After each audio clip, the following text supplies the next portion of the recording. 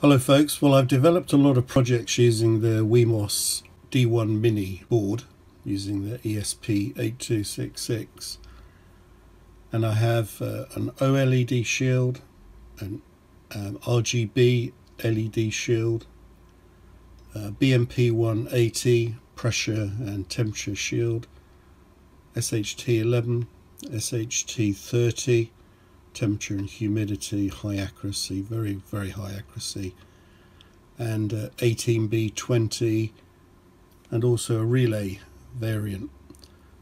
One of the things I wanted was to be able to use those with an ESP32. Well, I've just purchased and it's arrived today this variant of the ESP32 with oh, there are two rows of pins here um, an outer row and an inner row.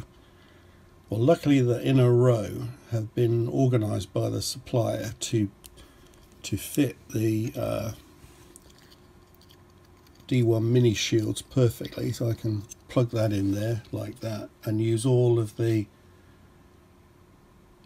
Wemos D1 mini um, shields which is great.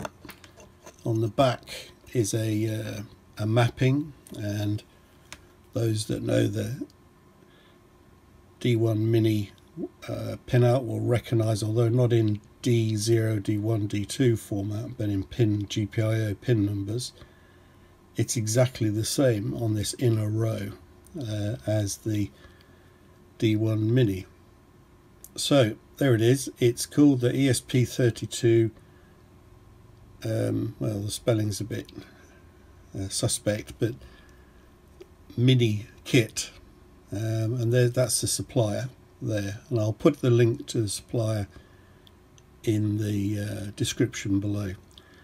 I've been through all of the sketches for all of these shields and um, they're all working fine so that makes for a very useful um, upgrade path from the ESP8266 Wemos D1 Mini to an ESP32 variant.